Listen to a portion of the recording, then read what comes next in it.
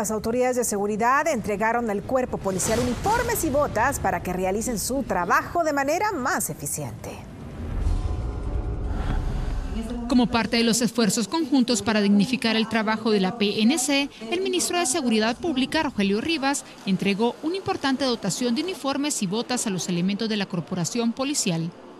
Hemos iniciado con la segunda entrega de dotación de uniformes y botas para los miembros de la corporación policial.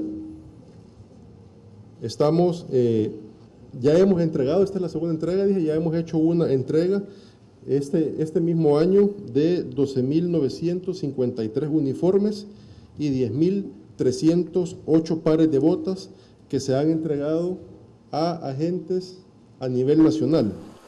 En total se entregaron 821 uniformes completos para la División de Tránsito Terrestre, pero esta no será la última entrega. Se dio a conocer que está en proceso una licitación que asciende a 2.3 millones de dólares para seguir dotando de más uniformes. Estamos dignificando verdaderamente el trabajo policial.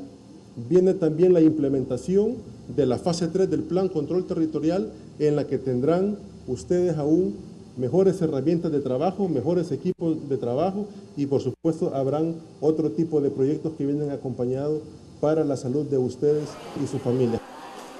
Esta acción de equipar a la PNC se suma al anuncio del presidente de la República, Nayib Bukele, de un aumento salarial para el personal policial, la Fuerza Armada y custodios de los centros penales, reconociendo así el esfuerzo de estos valientes hombres y mujeres en pro de la seguridad pública.